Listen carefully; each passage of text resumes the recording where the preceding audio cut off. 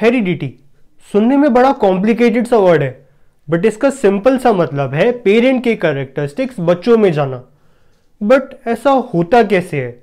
मतलब इंसान के बच्चे इंसान जैसे ही क्यों दिखते हैं? इनफैक्ट बच्चों में दोनों पेरेंट्स के कॉमन कैरेक्टरिस्टिक्स होते हैं। But how is it possible and ये कैसे डिसाइड होता है कि मेरी हाइट अपने मम्मी जैसी होगी या अपने पापा जैसी? एंड मेरी आईज का कलर मम्मी जैसा होगा या पापा जैसा? इस वीडियो में हम इन सारे क्वेश्चंस के आंसर डिस्कस करेंगे। हाँ भैया कुछ जीन डीएनए वगैरह से रिलेटेड होता है ये सब?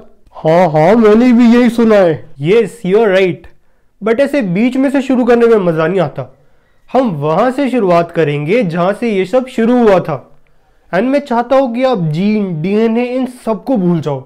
एंड जस्ट इस स्टोरी को एंजॉय करो। इस कहानी की शुरुआत होती है 1822 में।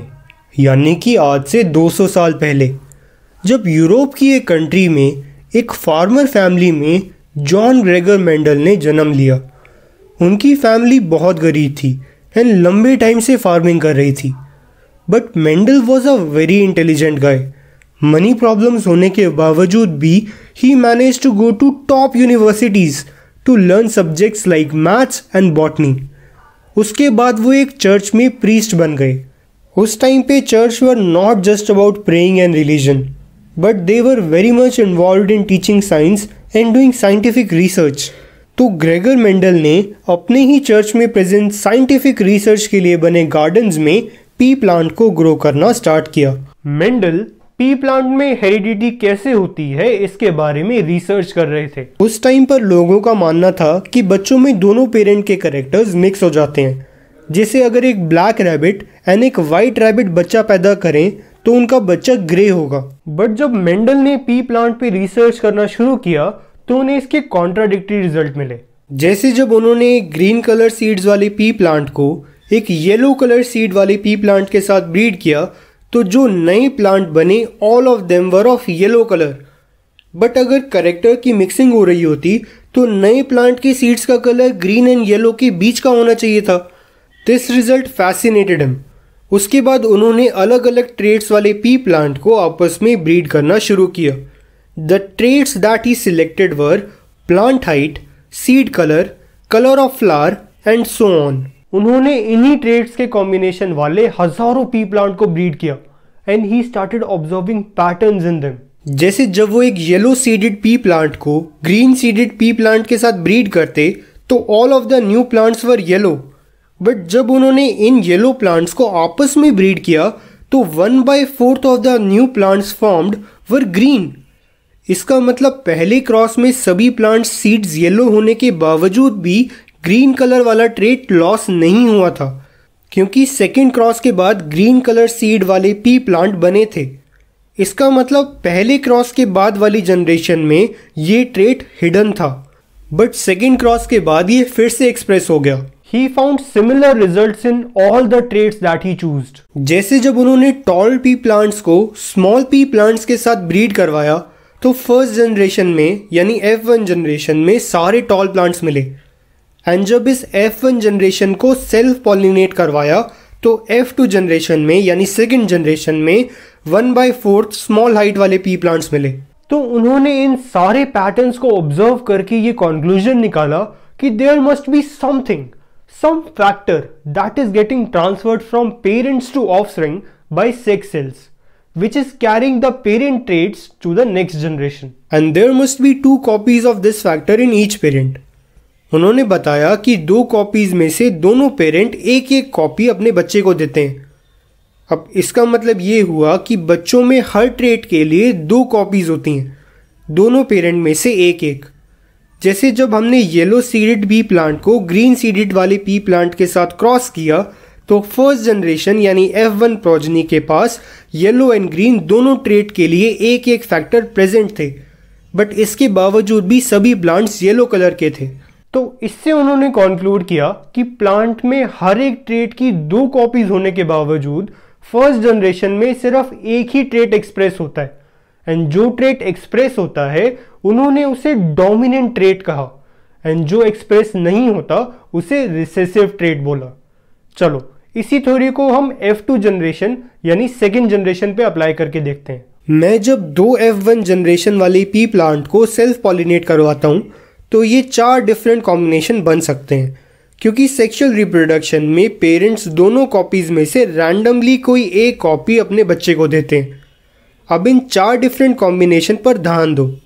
इनमें से एक प्लांट के पास दोनों येलो कलर वाली कॉपीज़ हैं तो ये डेफिनेटली येलो होगा। दो प्लांट्स के पास एक येलो एंड एक ग्रीन ट्रेड की कॉपी है। एंड हम जानते हैं कि येलो कलर इज़ डोमिनेंट तो these two plants will be yellow but एक प्लांट के पास दोनों ही ग्रीन कलर वाले ट्रेड की कॉपी हैं तो ये डेफिनेटली ग्रीन होगा। मतलब सेकेंड जनरेशन में one by fourth of the plants are with green seeds and this is exactly what Mendel theory predicted क्यों? गया कुछ दिमाग में? हाँ बेटा गया तो कुछ कुछ जी भैया। Gregor Mendel was a very passionate man उन्होंने अपनी लाइफ टाइम में हज़ारों प्ली प्लांट्स को ब्रीड करके उनके बीच के पैटर्न नोट किए। एंड जो भी मैंने आपको इन्फॉर्मेशन अब तक दी है उसके अलावा उन्होंने एक और भी कंक्लूजन निकाला। उन्होंने नोटिस किया कि अगर मैं एक tall plant with yellow seeds को एक short plant with green seeds के साथ क्रॉस करूँ तो all the possible combination form in second generation इसका मतलब ये हुआ कि पेरेंट्स से बच्चों तक हर एक फैक्टर इंडिपेंडेंटली इनहेरिट होता है and he called this independent assortment बच्चों ग्रेगर मेंडल की सारी थ्योरीज आज के टाइम पे अप्लाई नहीं होती बट आपको उनकी डिटेल्स जानने की ज़रूरत नहीं है। You just enjoy the beauty of this topic okay भैया। मेंडल की फाइंडिंग्स बहुत फैसिनेटिंग थी बट इट्स रियली सैड कि उनकी डेथ तक भी किसी ने उन पर ध्यान ही नहीं दिया and he did not get any recognition but जैसे जैसे हमारे माइक्रोस्कोप बेटर हुए एंड हमने सेल के अंदर झांकना शुरू किया, हमने रियलाइज़ किया कि मेंडल सही कह रहे थे. मेंडल के most of the laws are true scientist found out that cell के न्यूक्लियस के अंदर क्रोमोजोम प्रेजेंट होते हैं ये क्रोमोजोम उसी तरह बिहेव करते हैं जिस तरह से मेंडल के फैक्टर्स बिहेव करते थे। There are two copies of each chromosome and only one of them transfer from parent to offspring उनकी डोमिनेंट रिसेसिव वाली थ्योरी भी काफ़ी हद तक सही थी।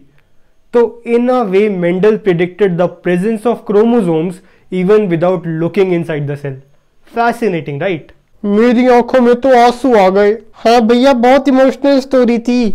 चलो, मैं आपको इसी से रिलेटेड एक बहुत अच्छी रियल लाइफ एप्लीकेशन बताता हूँ। ह्यूमंस के अंदर 23 पेयर ऑफ़ क्रोमोजोम्स प्रेजेंट होते हैं एंड इनमें से एक पेयर सेक्स क्रोमोजोम्स का होता है।